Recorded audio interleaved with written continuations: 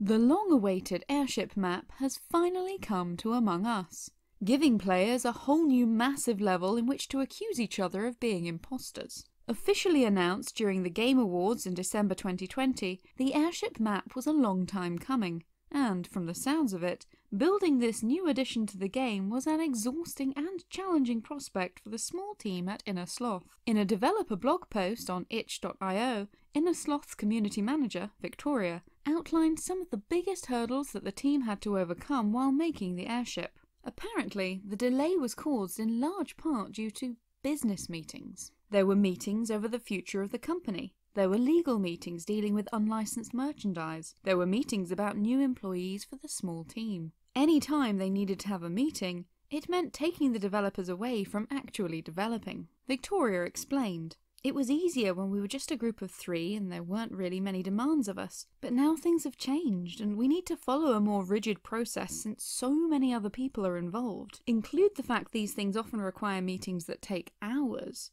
multiple times during a week, and that for a while our one programmer was also doing all the non-game business stuff meant a lot. And yes, part of the problem was all the incredibly sus knockoff merchandise. Some might say, imposter merchandise, that the team felt they needed to shut down. This meant speaking to lawyers, and this also ate into their time. Said Victoria, You may also have noticed how much fake Among Us merch has been out there. We had to get legal help for that, but the way IP laws work is that the only ones with the power to talk to lawyers and have things taken down are Innersloth officially. That definitely groups into the sheer amount of meetings we have and the considerations we need to make. We want to encourage fan art and totally welcome it, but we don't want corporations taking advantage or ripping off anyone. At this time, the team was also working to approve official genuine Among Us merchandise, such as the colourful crewmate plushies that have recently gone on sale. This was yet another distraction from actually building their promised update to the game.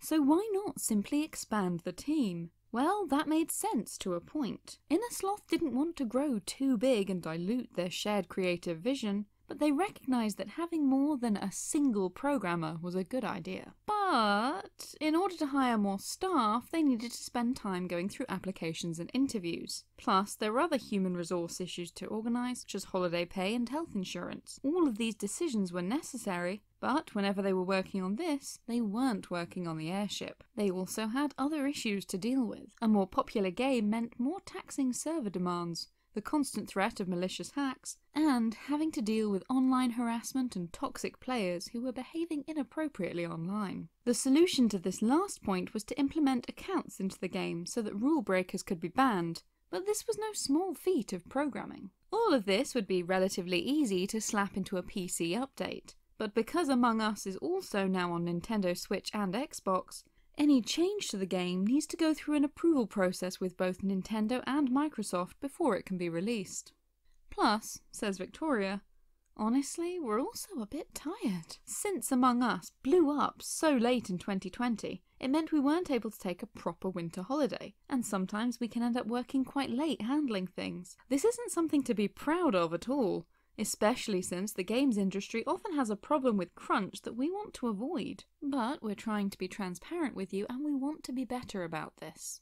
The good news is that Innersloth not only finally got the airship level airship airship the new edition. The good news is that Innersloth not only finally got the airship level completed, they also added their required extra staff and discovered the joys of outsourcing issues that the core development team really didn't need to deal with. Said Victoria, it helped the servers stabilise when we moved to multiplay. Play Everywhere made getting Switch out in three months possible. Dual Wield handles all the merch. Robot Teddy for business development. Legal and accounting and HR are all new partnerships that reduce the burden of running Innersloth. So the moral of this story is, you don't have to do everything yourself. Just as Innersloth found it difficult to oversee a global media empire without outside help, you too should recognise when it's better to rely on other people. Through collaboration, we can all make the most of our individual skills.